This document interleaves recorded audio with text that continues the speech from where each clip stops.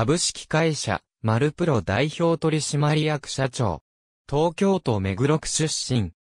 1991年4月21日、全日本女子プロレス後楽園、ホール大会の高橋美香、神谷美織組対、長谷川咲江、山本真由美組戦で、初コール。全日本女子プロレス後期のメインリングアナウンサーとして活躍し、リング外では広報を担当して経営を支えた。クラッシュギャルズ解散後の低迷期、団体対抗戦ブーム、新生前、女、全女の解散と、1990年代以降の全女を知る人間の一人である。会長であった松永隆とは、全女解散後も、講師ともどもの付き合いが続いていた。全女に関わる傍らで、2001年4月に設立した株式会社マルプロの代表取締役社長となり、総合格闘技のプロモーター業も行うようになる。2004年には、マルプロジムを設立して、ジムの運営を始めた。リングアナウンサーとしても様々な団体で、リングアナウンサーを行っている。また、ダウンタウンのガキの使いあらへんで、の企画、山崎 VS モリマンのリングアナウンサーを6度目の対決からすべて担当している。2011年、知人でもある大日本プロレスと半坂江治社長の誘いを受け、8月20日後楽園、ホール大会にゲスト参加。移行大日本では、後楽園ホール、横浜文化体育館を中心に、不定期で地方大会にも帯同し、スタッフとしても活躍するようになる。大日本以外では2012年1月8日、ブル、中野引退工業、2013年4月29日スターダム両国国技館大会に参加している。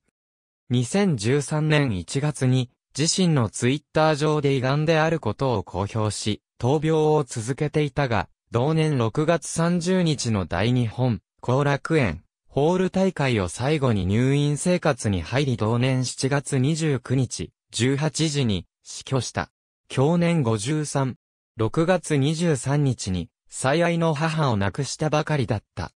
2013年10月1日に大日本が中心となり、国内女子団体を呼び、複数の女子レスラー協力のもと、後楽園で追悼工業が開催された。第1試合、タッグマッチオーカー春日春山勝ち、リングアナ、松丸、第2試合、スリーウェイタッグマッチ渋谷チェリーカメ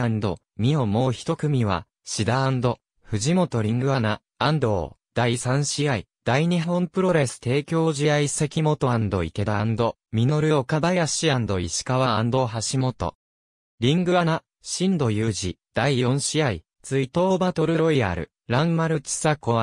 幸子リングアナ、田原大上順、神取高子吉田浜田遠藤倉垣、ラビット桜十文字姉妹、インターミッション、はやぶさ、矢口らによる、追悼ライブが行われた。